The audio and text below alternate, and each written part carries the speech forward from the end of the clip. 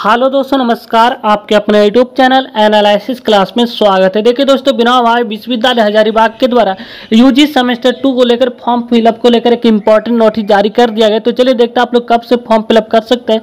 Form fill up की अंतिम तिथि कब तक है? पैसा शुल्क क्या लगने वाले इसके साथ यह भी जानेंगे कि आप लोग का एग्ज़ाम कब तक हो सकता है। तो चलिए आप लोग लास्ट तक बने रहें। अगर आप लोग इस चैनल पर नए तो चैनल को सब्सक्राइब कर लीजिएगा ताकि आपको हर लेटेस्ट अपडेट समय पर मिलता रहे। तो चलिए इस नोटिस को डिटेल के साथ देखते हैं। तो जैसे कि आप लोग यहाँ पे देख सकते हैं, बिना भाई विश्वविद्यालय, हजारीबाग के द्वारा परीक्षा संबंधी आवश्यक सूचना जारी कर दिया गया यूजी सेमेस्टर टू को लेकर एफ़ वाई ठीक है, जो चार वर्षीय आप लोग का ग्रेजुएशन है, ठीक है तो सेमेस्टर टू आने की जिसका सेशन 2022 26 तक है, ठीक है, परीक्षा के लिए ऑनलाइन परीक्षा प्रपत्र भरने की तिथि निम्न है, ठीक है तो आप लोग जो आवेदन कर सकते हैं फॉर्म फिलअप की जो तिथि है वो 26 सात 2023 से आप लोग अप्लाई कर सकते हैं। ऑनलाइन आवेदन कर सकते हैं और अंतिम तिथि निर्धारित किया गया छः आठ 2023 तक ठीक है?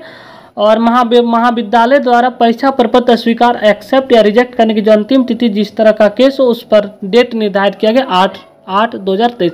तो आप लोग को इस, इसी डेट में आवेदन कर लेना यानी कि आप लोग आज से ही आवेदन कर सकते हैं छब्बीस सात दो हज़ार तेईस से छः आठ दो हज़ार तेईस तक ठीक है? और इसके लिए जो पैसा शुल्क निर्धारित किया गया, अगर आप इस तिथि से लेट करता, यानी कि छः के बाद, यानी कि आप अगर आप सात को आवेदन करते हैं तो प्रतिदिन आप लोग का सौ रुपया फाइन लगेगा, ठीक है?